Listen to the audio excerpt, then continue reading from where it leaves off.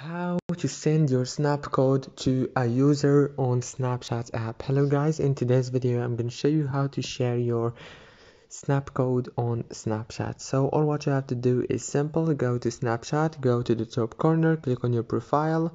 Now after you click on your profile click on your snap code right here after you click on your snap code now all what you have to do is simple.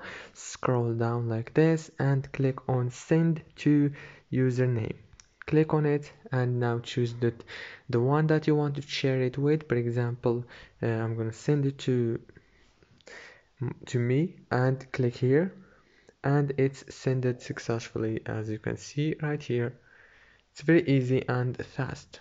Don't forget to like and subscribe Thank you so much for watching this video until the end.